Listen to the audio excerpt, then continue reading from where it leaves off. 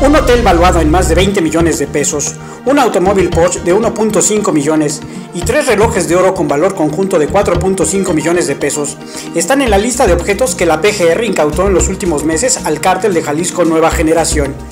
Así lo dio a conocer a la dependencia, quien aseguró que dichos objetos, dinero en efectivo, que en conjunto suman 160 millones de pesos, fueron decomisados tras la detención de nueve personas, entre ellos Rubén Ceguera González, el Menchito, hijo de Nemesio Ceguera Cervantes, el Mencho, líder de ese grupo criminal.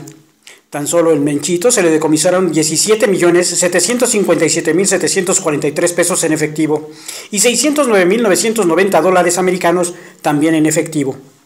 Para la crónica, Víctor Hugo Flores.